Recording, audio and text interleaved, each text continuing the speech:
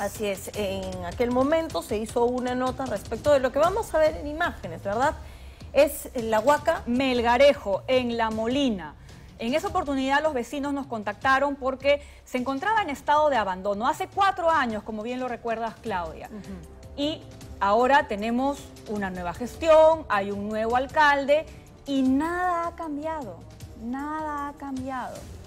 Ahora está ahí nuestra compañera Tiffany Tipiani. Cuatro años han pasado, ¿ah? Así que Tiffany Tipiani, a esta hora del día, ¿en qué punto exacto de la Huaca, Tiffany? Vamos contigo. Así es, compañeras, ¿qué tal? Buenos días y también a los amigos televidentes. Al costado de la avenida Fontana hay un parque, pero al costado de ese parque se ubica esta huaca tan bella, tan linda, que es Melgarejo. Una huaca que es acceso libre para los vecinos y para cualquier ciudadano para que visite. Y por ende debe cuidarlo, pero lamentablemente esto no se ve aquí. Estamos bajando justamente en una parte donde... Eh, en esos años, en la cultura Aishma, esto debió ser, digamos, como especie de habitaciones, ¿no? Pero miren ustedes acá, todas las paredes ¿no? de este patrimonio cultural están repletos de graffiti, ¿no? Y ustedes saben que para sacar obviamente esto, no es agarrar y, digamos, tallar, no, porque ese es patrimonio, lo difícil que, debe salir estas pinturas, ¿no? Ahora, no solamente eso, miren ustedes, aquí viene gente de mal vivir a fumar, a drogarse.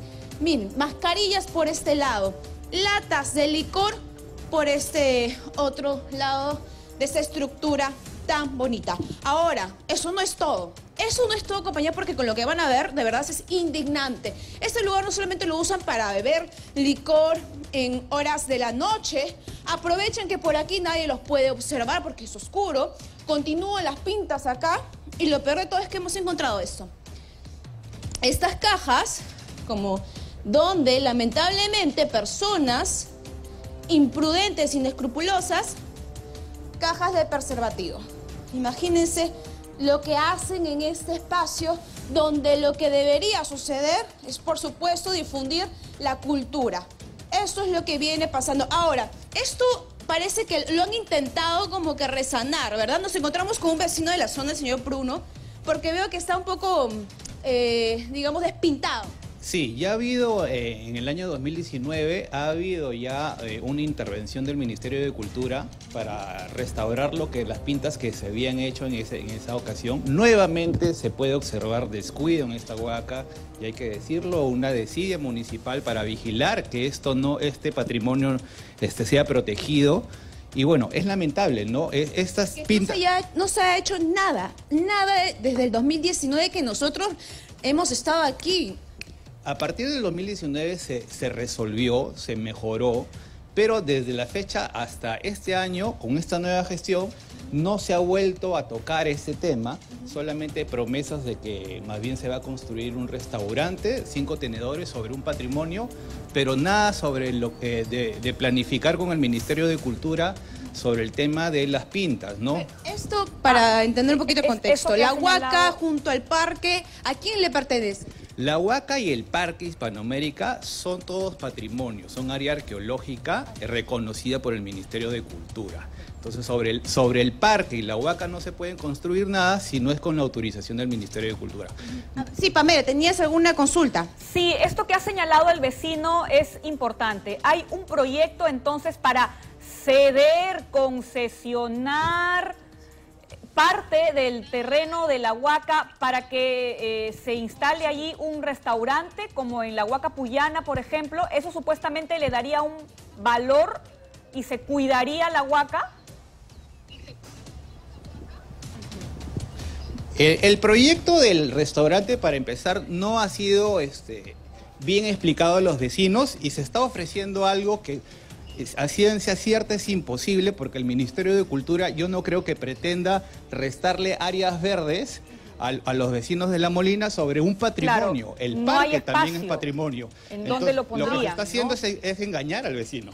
Es un proyecto de este alcalde, del alcalde hacer, digamos, es un proyecto parecido al de Miraflores. Sí, compañeros. Es un proyecto del alcalde Uceda. Sí, es un proyecto del alcalde Uceda, pero que no, sí, hay declaraciones de él donde él ofrece acá sobre el parque, ofrece un restaurante de cinco tenedores. ¿Eso qué quiere decir? Que venga empresa privada, reste áreas verdes Claro. a una zona que es usada por los vecinos para entretención, que tiene áreas verdes, pero que no cuenta con la aprobación todavía del Ministerio de Cultura. Ajá. Entonces lo que él está ofreciendo a nosotros como vecinos nos alerta a ponernos en acción y justamente por eso hoy día tenemos una reunión a las 7.30 de la noche en este mismo parque. Invito a los vecinos que vengan para poder informarnos qué cosas se puede hacer realmente en ese parque y qué no. Y a esa reunión también están invitados. Pero ha estado, digamos, asistiendo.